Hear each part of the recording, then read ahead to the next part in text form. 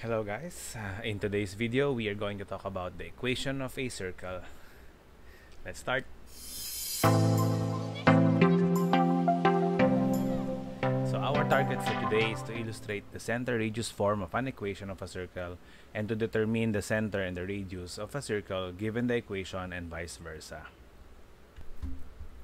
From the distance formula, in this figure, in order for us to find the radius or the length of the radius, we can get their distance using these coordinates of the center C and a point on the circle P. So we are going to use a distance formula. So if we substitute these coordinates of the center and a point on the circle x, y, we are going to have the radius is equal to the square root of x minus h squared plus y minus k squared. So if we square both sides of the equation, we are going to have r squared is equal to x minus h quantity squared plus y minus k quantity squared. And this is what we call the standard form of the equation of a circle. Sometimes it's called the center radius form because it can easily give us the center which is located at the hk coordinate and the radius which is the square root of the r squared. So let's have examples. So example number one, finding the equation of a circle. So what is the equation of the circle in standard form whose center is located at 2, 3 and has a radius of 6? All we have to do is to follow this standard form of the equation of a circle and substitute our center and the radius. So let hk be the coordinates 2, 3 and r is equal to 6. So if we are going to substitute those values or these values on our standard form, we are going to have x minus 2 squared plus y minus 3 quantity squared is equal to 6 squared. And since you are asked to um, write this in standard form, let us square 6 and we're going to have x minus 2 raised to 2 plus y minus 3 raised to 2 is equal to 36. And this is the standard form of the equation whose center is located at 0.23 and has a radius of 6. Okay, so let's have another example. So number two, writing an equation of a circle given the center and a point on the circle. So with this, find the equation of a circle in standard form whose center is at 7, 1 and passing through the point 1, 9. So this point 1, 9 is actually a point on the circle while 7, 1 is our center.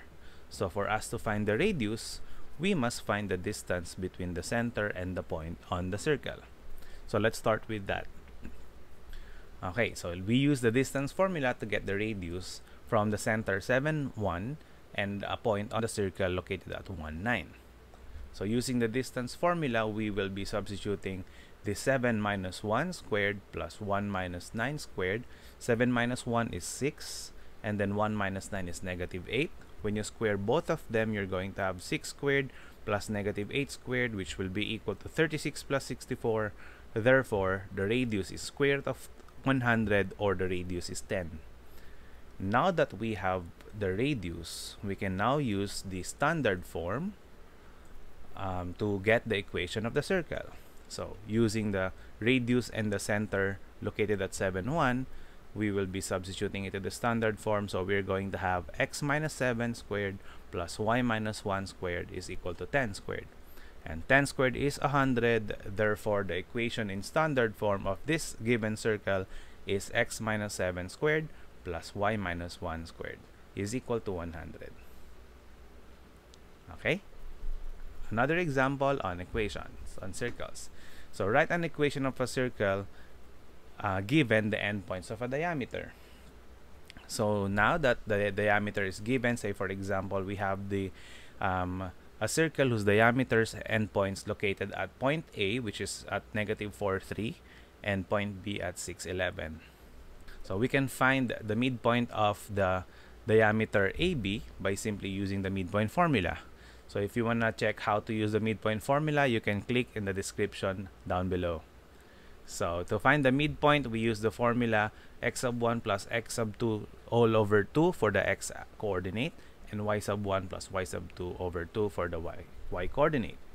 So once we've substituted it, so that's negative 4 plus 6 divided by 2 is uh, 2 over 2 and then 3 plus 11 is 14 over 2 then therefore the center is located at coordinate 1 7 and since we already know the center to, in order for us to complete the equation is the radius so let's find the radius using the distance so you can actually use the distance of the diameter. So find the length of the diameter using the distance formula and then you divide it by 2 or use the center.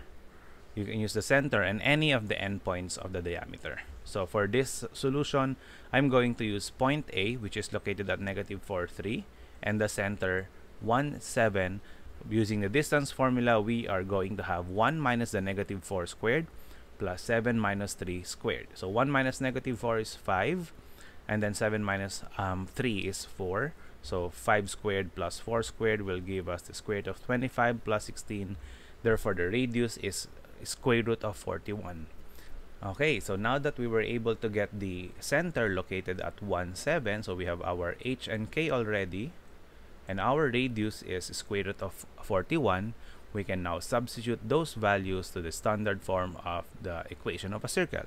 So we're going to put it right up here so if we are going to substitute the h and the k, so center is at 1k, so x minus 1 squared plus y minus 7 squared is equal to the square root of 41. And if you're going to simplify the square root of 41 squared, then the equation of the circle in standard form is x minus 1 squared plus y minus 7 squared is equal to 41. Okay, so example number 4 finding the center and the radius of a circle given the equation in general form. So for us to answer this problem, uh, to find the center and the radius of the circle whose equation is x squared plus y squared plus 4x minus 6y is equal to 12, first we must learn how to convert this general form of equation into the standard form. Because once it's in standard form, it's easy for us to find the center and the radius. So let's start rewriting this equation into the standard form. So first, um, we must identify those terms that have the same variable. It is because we have to group them together, such as x squared plus 4x grouped together, then y squared minus 6y grouped together, and put the constant to the other side of the equation. Next, we complete the squares. So we will be completing the squares for x squared plus 4x and also for y squared minus 6y.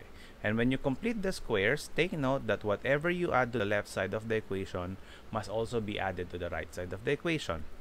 And by doing so, how do we apply the completing the squares again? If you may recall, we just have to identify the b of the quadratic equation. That's 4 here and for our x. Then you divide it by 2 then raise to 2 so that's 4 divided by 2 raised to 2 which is equal to 4 meaning we'll be adding 4 on for our x. And for y we will be identifying the b which is actually the negative 6 so we divide negative 6 by 2 and then we square it. We will get a 9 so that's 9 here for the y and don't forget that if you add a 4 and a 9 on the left side you will you must also add a 4 and a 9 to the right side and by doing so, we are going to have an equation that goes like this. x squared plus 4x plus 4 plus y squared minus 6y plus 9 is equal to 12 plus 4 plus 9. After completing the squares, we factor uh, the trinomial on the left side. So we have x squared plus 4x plus 4. Factored form is actually x plus 2 squared. And then uh, the perfect square trinomial y squared minus 6y plus 9. When you factor it, you're going to get y minus 3 squared. And then when you add 12 plus 4 plus 9, you're going to have 25. And since we are almost already in the standard form, we just have to find the radius. So convert 25 into its square form. So that is 25, uh, 5 squared. So now that we have our equation in standard form, therefore we can now get the radius and the center's coordinates. So the h and k are this um, negative 2 and then positive 3 and then the radius is 5 so our um, center is located at coordinate negative 2 3 and the radius is 5 so I hope you learned something in today's video.